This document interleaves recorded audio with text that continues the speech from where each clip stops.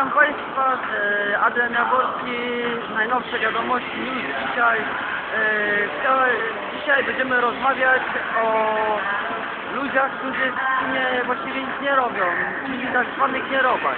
Jesteśmy w jednym zakładzie w Oriszocie, nazywa się Herak i chcieliśmy Państwu zaprezentować e, ludzi, którzy naprawdę nie robią. Są kompletne nieroby.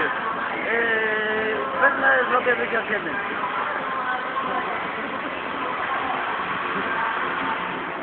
Co pan powie o pańskiej pracy?